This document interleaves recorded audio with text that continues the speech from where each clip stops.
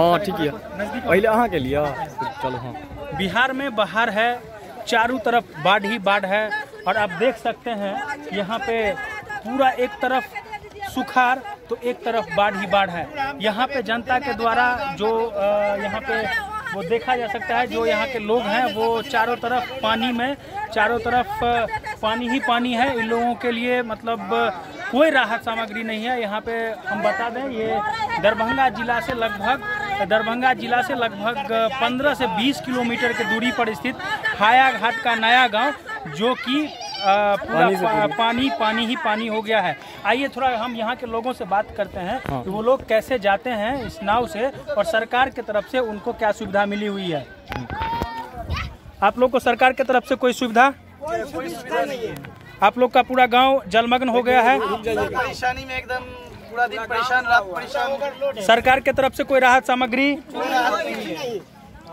तो आप लोग तो इतने मतलब इस नाव में इतने लोग सवा, सवार हो गए हैं तो आप लोग जान को जोखिम में डाल के अपने गाँव जा रहे हैं? लेके चलते हैं बचाने वाला ऊपर है इन लाइन शैतानी रजीन आप देख सकते हैं यहाँ पे लोगों का क्या लोग अपना दुखड़ा सुना रहे हैं।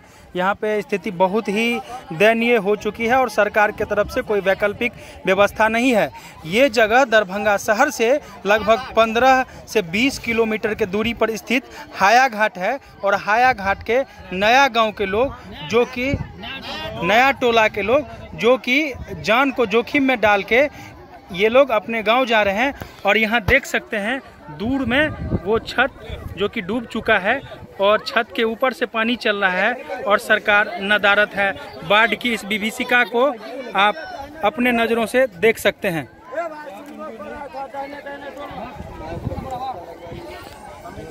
इस परिस्थिति में कुछ सामाजिक संगठन जो कि आगे आए हैं और राहत सामग्री लेके यहाँ पे वो पहुँचे हैं। आइए हम बात करते हैं एक सामाजिक संगठन, मिथिला स्टूडेंट यूनियन के सदस्य से वो क्या कहते हैं?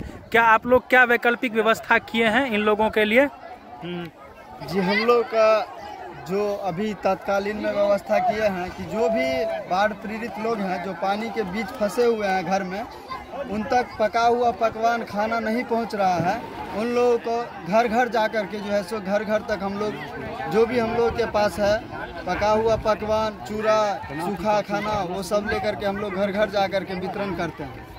धन्यवाद। नाम क्या हुआ आपका? मेरा नाम विकास कुमार चौधरी हुआ। आइए हम बात करते हैं। ये हैं समाज सेवी इनसे बात करते हैं जो बिहार सरकार के द्वारा यहाँ पे बाढ़ राहत के लिए कोई वैकल्पिक व्यवस्था नहीं है। इस परिस्थिति में आप यहाँ के लोगों के लिए क्या कर रहे हैं? बाढ़ में जितना संभव हो रहा है हम लोग मिथिला स्टूडेंट यूनियन के तरफ़ से पूरे अभी हाया घाट में हम लोग ये कौन सा जगह है? हाया घाट में नवटोल है बाबू बिलासपुर। है। बिलासपुर लोग जो है सो पानी से त्रस्त हैं। खाने को दिक्कत है इसीलिए हम लोग मिथिला स्टूडेंट यूनियन सब राहत लेकर के हर जगह जितना संभव हो रहा है हर जगह हम लोग को देने का काम कर रहे हैं। धन्यवाद। ये समाज सेवी हैं जो समाज सेवी लोग सरकार के द्वारा कोई वैकल्पिक व्यवस्था न होने के कारण यहाँ पे राहत सामग्री लेके आए हैं और लोगों के बीच वितरण कर रहे हैं लेकिन सरकार के द्वारा कोई वैकल्पिक व्यवस्था नहीं है। आइए बात करते हैं ये हैं ये भी समाज सेवी हैं ये भी आए हैं बाढ़ राहत से सामग्री अ, इनसे बात करते हैं जो यहाँ पे सरकार के द्वारा कोई वैकल्पिक व्यवस्था नहीं है इस परिस्थिति में आपके आप लोगों के द्वारा बाढ़ पीड़ित लोगों को लोगों को लोगों के लिए क्या किया जा रहा है? ये नया टोला है घाट बिलासपुर है। इस इधर नदी के में के बीच में बहुत सारे गाँव फंसे हुए हैं। यहाँ नाव से बाढ़ राहत ले जाने में मिथिला स्टूडेंट के यूनियन की तरफ़ से बहुत से चावल चूड़ा बिस्कुट सब आए हैं। जब अभी इस नया टोला में वितरण होंगे बात बाकी तो बिहार सरकार से जो रहा है सो जनता को मालूम नहीं है। इस पर हम लोग को नो कमेंट्स आप यहाँ के स्थानीय हैं? नहीं जी आप यहाँ के स्थानीय हैं? हाँ तो सरकार के द्वारा क्या वैकल्पिक व्यवस्था है आप लोगों को बाढ़ बाढ़ राहत के लिए? सरकार कुछ कर रही है या नहीं कर रही है? अभी तो वही फ़िलहाल परमिशन नहीं दिया है और खाना जो है बारह बजे जो ही होता है थोड़ा बहुत दे के जा रहा है। कुछ लोग सरकार के हिमायती कर रहे हैं और कुछ लोगों का कहना है जो सरकार के तरफ़ से हमें कोई वैकल्पिक व्यवस्था नहीं है और यहाँ पे लोग देख सकते हैं किस तरह खाने को मोहताज हैं। चारों तरफ़ आप लोग ये ये देख सकते हैं यहाँ पे आ, लोग कैसे मुसीबत में पड़े हुए हैं। लोग चारों तरफ़ सरकार के तरफ़ से लोगों का कहना है जो यहाँ पे नाव की कोई वैकल्पिक व्यवस्था नहीं है। लोग जान में जोखिम जान जोखिम में डाल के लोग नाव से यात्रा करते हैं और बीच फंसे चारों तरफ़ पानी के बीच में फंसे गाँव। जिस मतलब उस गाँव में ये लोग नाव से जाते हैं और पूरे जान को जोखिम में डाल के ये लोग यात्रा करते हैं यहाँ से और ये लोग जाते हैं बीच गाँव पानी चारों तरफ़ पानी ही पानी है।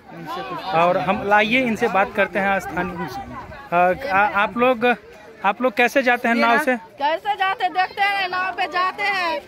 इतना इतना पानी है बच्चा लोग सब कैसे कैसे आता जाता है कुछ देता है तो सब लूट के खा जाता है। आपको डर नहीं लगता है? आने नाव में जब बैठते हैं। तो डर लगता है तो कैसे आएँगे? अपना जान बचाने के लिए तो आना पड़ता है ना यहाँ। मैं इनसे मैं इन, इनसे कुछ पूछना चाहता हूँ। इन्हें आप देख सकते हैं। आप जब नाव में आते हैं तो आपको डर नहीं लगता है? डर नहीं लगता है सर। तो क्या वहाँ का ज़रूरी का मार्केट का काम पड़ता है? तो आना ही पड़ता है मजबूरी सरकार की तरफ़ ऐसी आपके पास कुछ मुहैया नहीं मिला है अभी तक? कुछ भी नहीं दिया है। कोई मुहैया नहीं मिला जिस आप जी देख सकते हैं ऐसे ऐसे महिला जो प्रेग्नेंट होने के बाद नाव में सफ़र करते हैं। के लिए आता है यहाँ पर तो लूट पटार के लेके भाग जाता हुआ है। देखिए नाव दिया है सरकार देखिए नाव का स्थिति बहुत ही खराब है।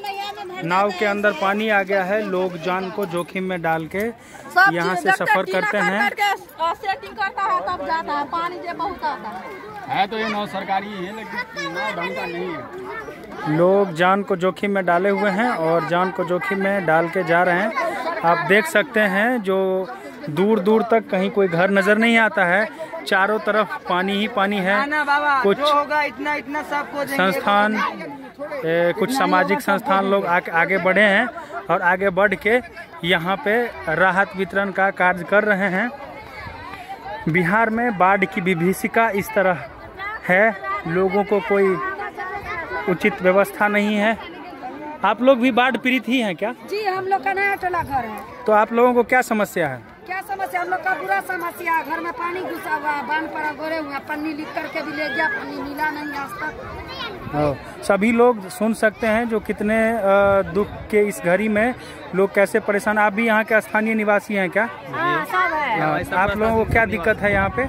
यहाँ पर सबसे प्रथम दिक्कत जो है सबसे प्रथम दिक्कत है कि घर छोड़ करके यहाँ रेलवे पर बैठा हुआ। बाल बच्चा के लिए बाल बच्चा सब लेकर के बैठा हुआ। आप मानते हैं कि पाँच हाथ पन्नी दिया अच्छा छः हाथ पन्नी दिया। उससे उसमें बाल बच्चा का गुजारा होता है फट गया। अभी कैसे रहेगा?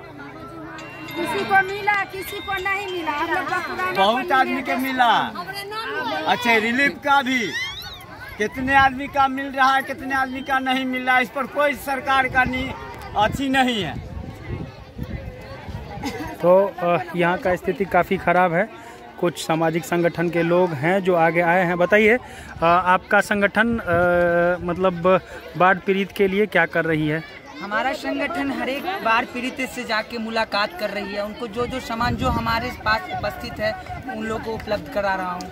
साथ ही साथ हर एक जगह पे जहाँ जहाँ मेडिकल कैंप लगाने की अनुमति, यानी व्यवस्था करवाया जा रहा है। मगर इस गाँव, यहाँ पे आने के बाद मुझे दैनिक स्थिति इतनी बुरी लगी, मुझे अपने आप आँखों पर विश्वास नहीं हो रहा है। यहाँ पे हर एक लोग भूखे हताश अपने आँख से सबका इंतज़ार कर रहे हैं जो कोई आए कोई ऐसा आदि फरिश्ता है जो हमारे मदद करे। हाँ। मगर अभी तक उनके नज़र में ऐसा कोई नहीं है।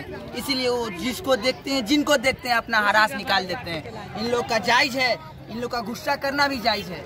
धन्यवाद ये अ, कुछ लोग हैं जो आगे आए हैं इन बाढ़ पीड़ितों की सेवा करने के लिए। आप लोग देख सक, देख रहे हैं सभी के चेहरे पे। एक डर और एक खौफ सा बना हुआ है जो कब कुदरत का कौन सा खेल हमारे ऊपर हो जाएगा और हम लोग कब कहाँ जाएँगे, उसका कोई गारंटी नहीं है। आप देख सकते हैं दूर दूर तक कहीं घर के छत के ऊपर से पानी चल रहा है। चारों तरफ़ पानी ही पानी है और गाँव का गाँव डूब चुका है। आइए हम ये आपको दिखा रहे हैं। जो ये देखिए, रेलवे लाइन पे लोगों, लोग कैसे अपना बसेरा बनाए हुए हैं और बसेरा बना के रह रहे हैं। उनको सरकार के तरफ़ से कोई राहत सामग्री अभी नहीं पहुँच पहुँच रहा है और जिला प्रशासन के कान में जू तक नहीं रेंग रहा है। और हम आगे भी लाइव रहेंगे, आगे भी हम आपको दिखाएँगे। यहाँ पे बाढ़ पीड़ितों की जो समस्या है, यहाँ देख सकते हैं। लोगों को, लोग काफ़ी हतोत्साहित हैं। देख रहे हैं लोगों को। दूर दूर तक आप देख लीजिए। चारों तरफ़ पानी ही पानी है।